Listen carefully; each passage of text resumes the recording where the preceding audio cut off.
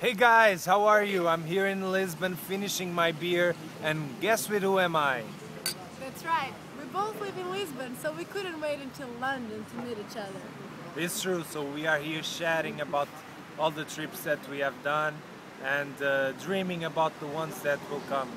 And You're a poet, man. yeah, Why don't you show the world the place we are right now? okay. So um, this is the main the main avenue of Lisbon.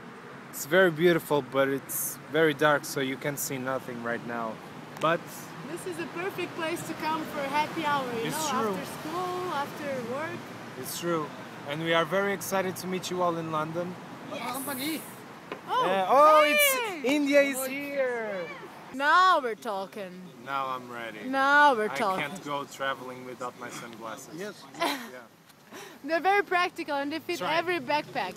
Very nice. Yes, Oh, I can see everything with these glasses. Lalo, it one. Nice. So, as we were saying, we are very excited to meet you all in London. That's right. A toast to all the other eight finalists and to my destination. Yes. See you soon. See you soon, guys. Bye.